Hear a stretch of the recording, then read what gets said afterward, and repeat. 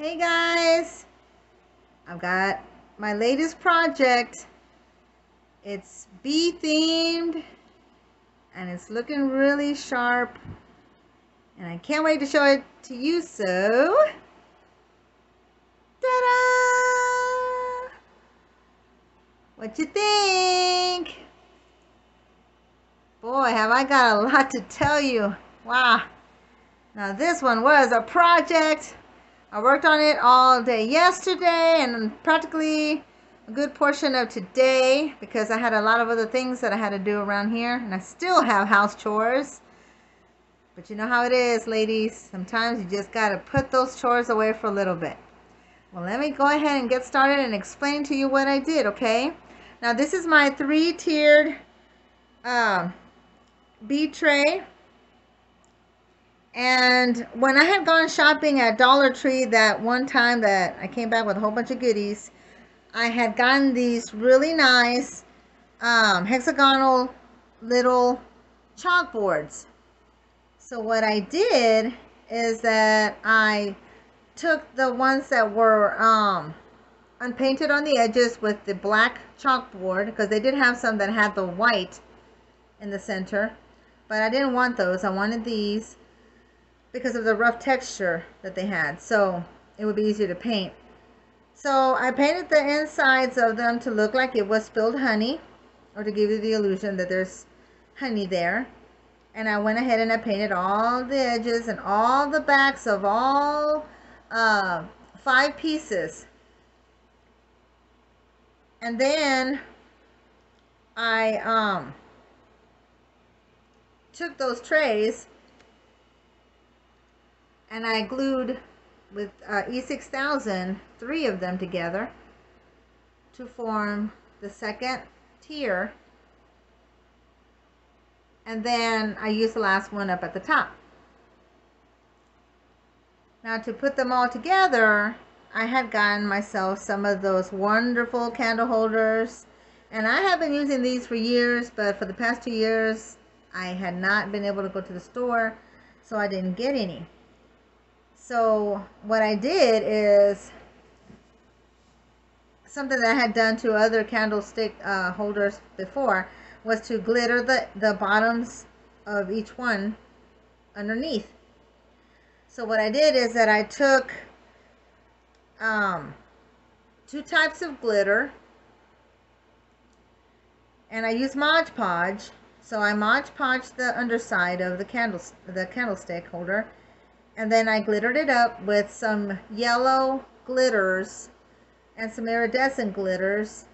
But the funny thing was that with these iridescent glitters, and this is, you know, it's kind of hard to find, you know, solid colored glitters, or at least maybe I'm not looking in the right place or something, but the iridescent ones ended up looking kind of green.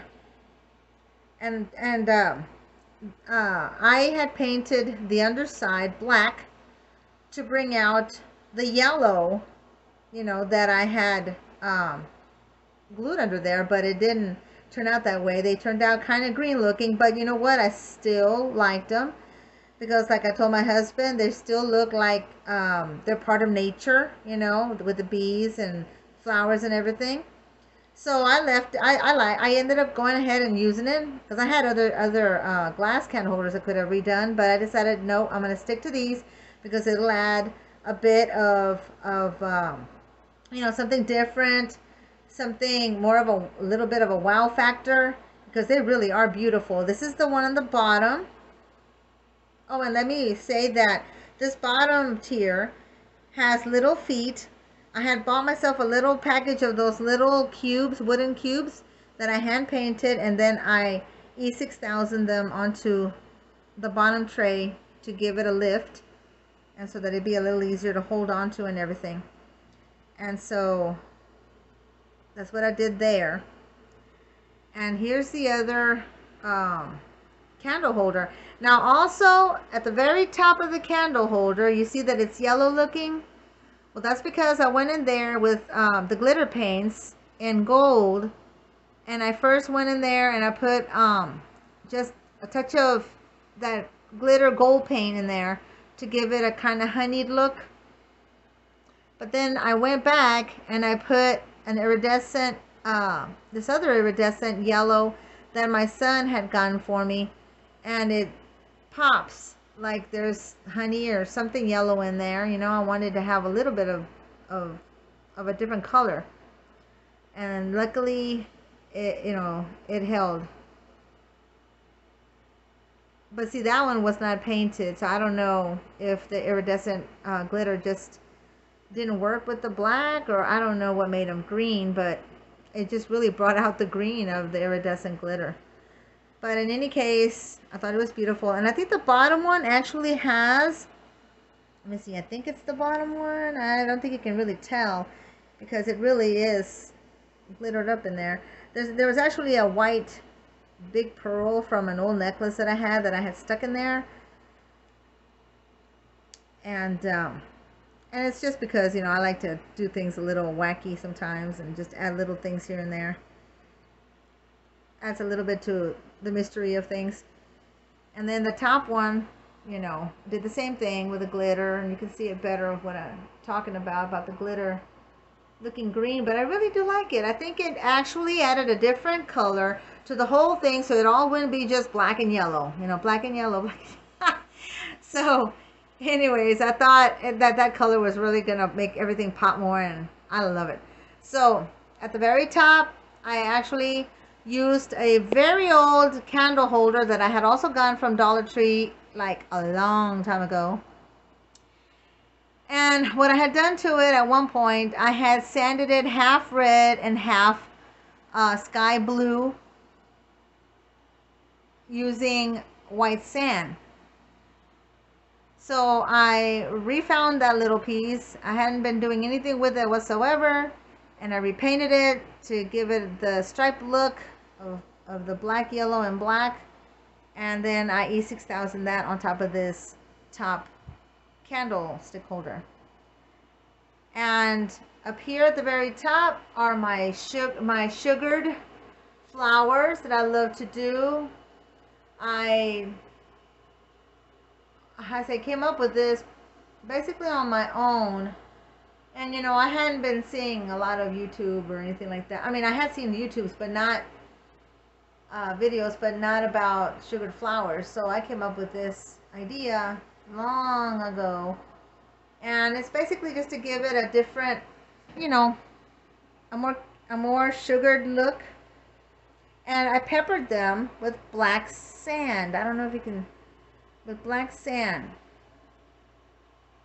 So I took these little miniature carnations and I peppered them with black sand. I Mod Podged them.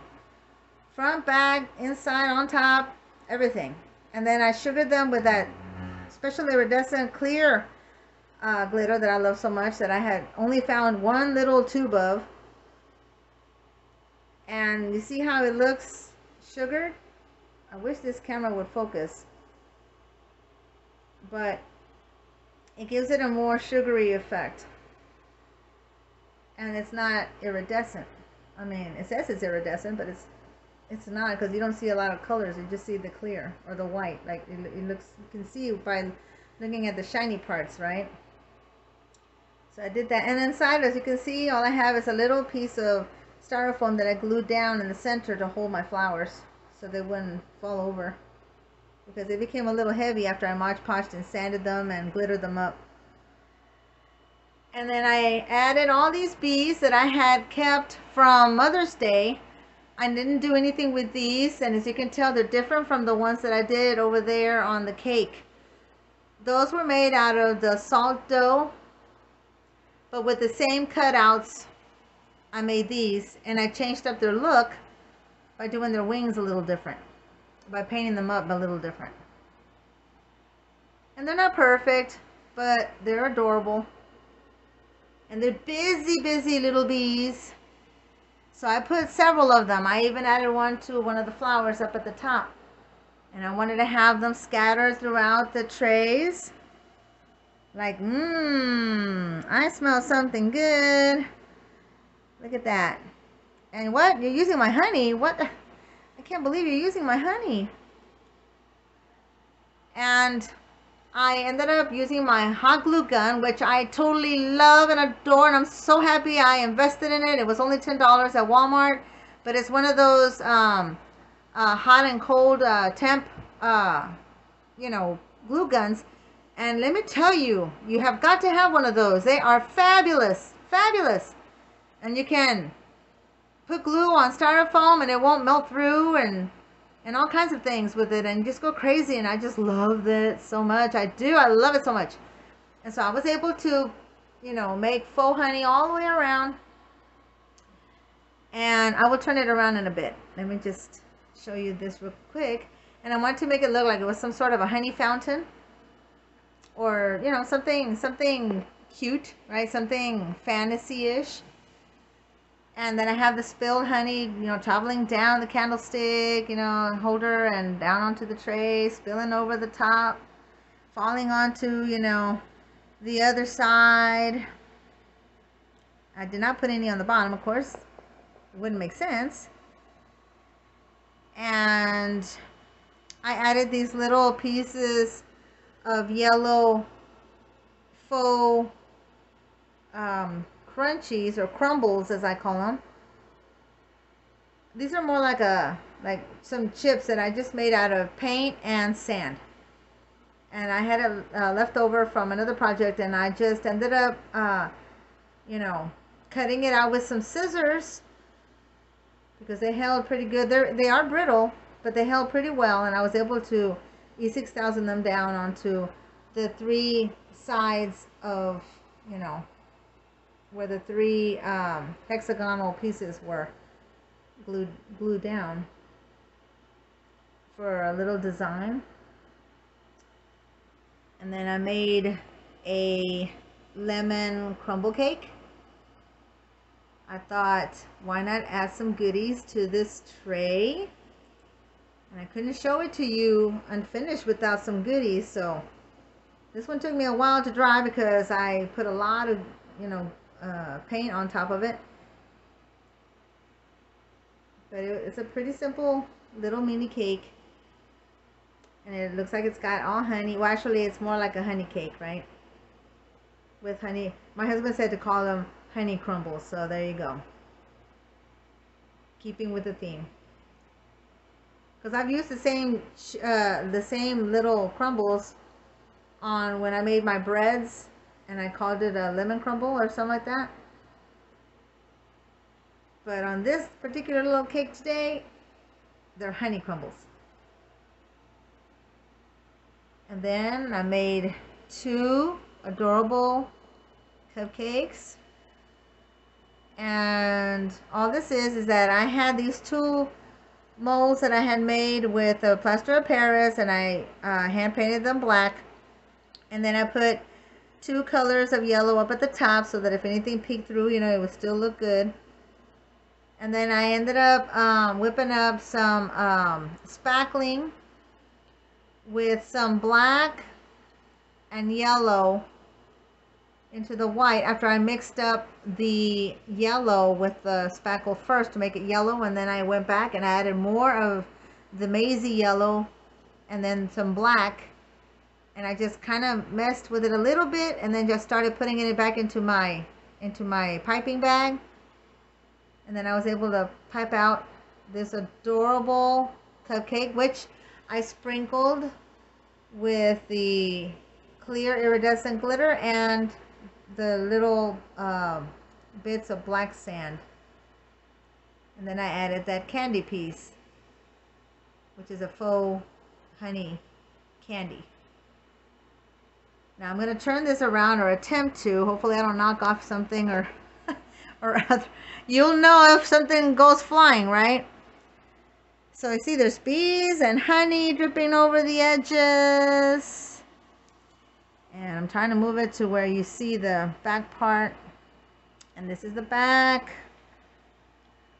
You know, with a big old drizzle of honey coming down and spilling onto that tier down. Look at that perfect little drop there. Mm-hmm. I wanted to show you guys. I made this one way bigger. You know, made it a lot more yum yum. And I added those chips that I was talking to you about earlier and that candy piece. And again, all I did was just add the iridescent glitter to make it look like sugar. Doesn't that look like sugar? See, this is why I like this glitter so much. Because it looks like sugar. So I'm hoping that I'll be able to find some more at Walmart. But I hate it when they change things, you know? It's bad enough you can't find anything when you go in there. And you have to walk for miles just to get something from one side of the store to the other. I wanted to touch base on some of the things, well, on something that I had already made before and shown y'all. Let me go back over here. The adorable bee cookie pops that I made a while back. These I made for Halloween, uh, I believe last year. And I basically just took the same pattern that I had used for the for the uh, salt dough bees over there. And I made these. And then all I did was just add the patterns of polka dots and stripes. And each one of them uh, has I think let me see I'm trying to remember if it has the opposite I don't know if I can move it let me see see one side is striped and then the other side is polka dotted so that no matter how you look at the little bouquet you know you see a pattern and I had, you know, when I try to create stuff, I try to be different. You know, I try to do something that other people maybe have not done yet. And as far as I know, I have been the first for several things. And the cookie pops, the bee cookie pops, is one of the things that I think I am first with. And the um, painting of the pet bedding. Now, it might be possible that it might have been done a long time ago, but I don't think so. And also with the sugared flowers, you know, I had been sugaring up the flowers for a long time with glitter. And all of these uh, ideas I had been doing for years before I even made my channel this year. So, I mean, my channel is just, what, a few weeks old now? And these were one of the things that I had made for Halloween to have something, you know, cute and as a faux goodie on display here in the dining room. So I'm very proud of these little cookie pops because I've seen a lot of cake pops, but I had not seen any cookie pops. And they do have a filling in the center, which is like a tannish look, almost like a peanut buttery color. And then I sugared them up big time also as well with that same glitter, guys, to give it a sugary effect all the way around and all over the cookie. Everything I like, everything that I do, I like to go a step beyond. I'm just that way. I'm an artist. Artists tend to do stuff like that. I like to think outside the box. I like to be different. I like to be unique. I like to show people what I'm made of. I try to do the best that I can, you know, and have fun with it. That's just the way I am. Everybody does their thing, right?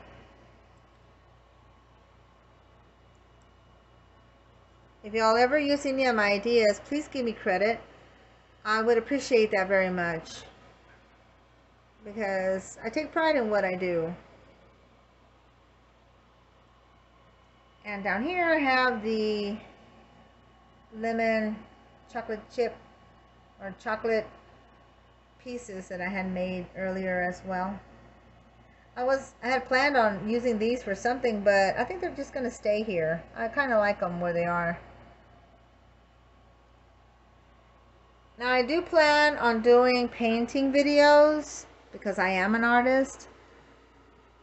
And I wanted to show you guys just a few. Right here is a honey bee inspired painting that I did last year and I used bubble wrap to make the pattern it's abstract but you get the idea and then I did paint some of the honeycombs by hand and and you know added the flower and the little hive and a bunch of flowers down at the bottom with some bees I just love to paint. I adore it. I've been doing it for about 30 years or so now. And here's another painting that I have. Uh, I was doing this even before the fluid acrylic thing went crazy, which is now called pouring on YouTube. I was already doing my geodes and using sands and stones and glitters and puff paints and oh name it I pretty much have used it and then I of course hand painted my starfish and the greenery in there and I did paint the sand and I added sand to it too for texture. Paint the shell. And I varnish all of my artwork to seal it. I have never sold anything that wasn't protected. Because you know paintings are delicate stuff you know you can easily get some droplets of something or other onto it and it's ruined you know so I like to seal my stuff. These up here are my Alice in Wonderland uh, frames that I showed you guys in the very beginning when I first got my channel. And of course all of the roses are made and the hearts are made out of plaster of Paris and hand painted and sealed with glitter paints as well as all the little bees that I have all over my walls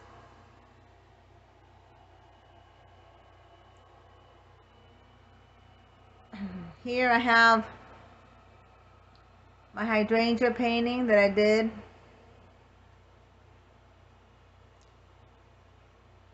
and I just love detailed work. I like to put a lot of details into my stuff. And I guess that's why it goes to my crafting as well. This is a painting that I did basically just with a palette knife and one brush. Basically more palette knife than brush. And that kind of reminds me of Dune. Palace Caladan. And this one also reminds me of Dune. Are you guys fans of Dune? I adore that movie. My son says this one definitely reminds him of Dune. And then I did this one. And I don't know if you guys know what jujube plums are. But I believe they are from Japan my grandmother was friends with an older lady that would travel with her sister and they would go to different countries. And she went to Japan and she brought back seeds and stuff and gave them to my grandmother to plant. And she did have a huge jujube plum tree behind our kitchen. And that's that tree would give out these miniature apples. And I kid you not they tasted like apples. I love them. They were so sweet and delicious. Of course, the bugs were always trying to get to them first, but my aunt and I used to handpick just quadrillions of these little miniature apples. So when I did this painting, I wanted to have a bouquet of those little apple branches. And they looked just like that, and they were so wonderful. They tasted like miniature apples. And then these up here at the top are um, dried, um, I'm trying to remember. Babe, what's the name of the cactus that Maitha likes? I'm trying to ask my husband was, huh? What? Oh yeah, the yucca plants. I always forget what they're called. But we do have some yucca plants on our property, but they've never bloomed. And these blooms you find in the, you know, in the wilderness parts. and you usually see them sticking up looking like that all dried out and they're hard. And they hold their seeds and then they drop their seeds. And then there's a little wine bottle that I painted and it says jujube you know it's like a jujube plum wine called reverie.